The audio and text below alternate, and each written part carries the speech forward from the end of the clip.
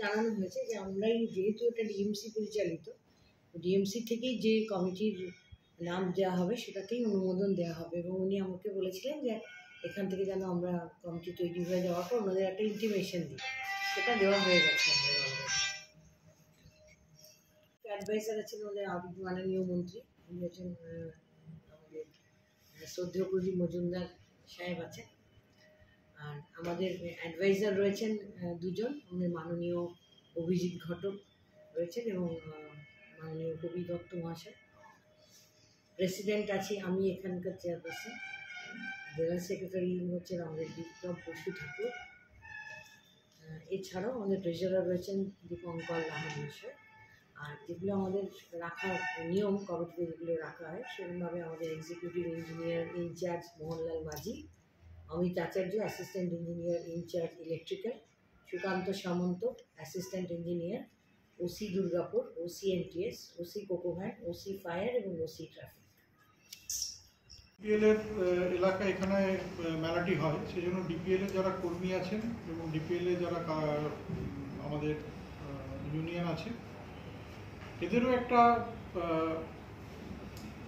এই মেলার প্রতি হ্যাঁ এদের এই মেলার সাথে যুক্ত থাকার একটা ব্যবস্থা থাকে এবং নানানভাবে তারা এই মেলাকে সাহায্য করে থাকে।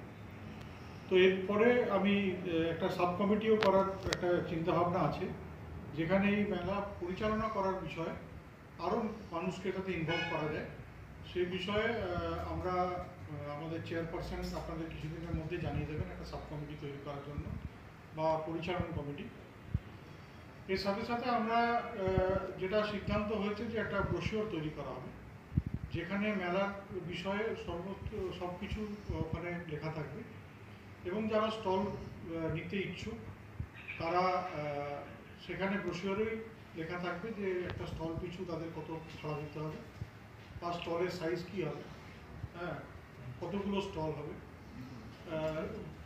সব কিছুই আমরা সেই ব্রোশিওরে পাবলিশ করি এবং সেই অনুযায়ী স্বচ্ছতা বজায় রাখার জন্য আমরা একটা সিদ্ধান্ত নিয়েছি যে সব কিছুই যাতে চেকের মাধ্যমে ইয়ে হয় বা অনলাইন ট্রানজাকশন পাশে দাঁড়াতে পেরেছেন এই কোভিড সিচুয়েশন তাই এর সাথে সাথে আরও কিছু আমরা নিয়ম করে দেবো যার যার জন্য।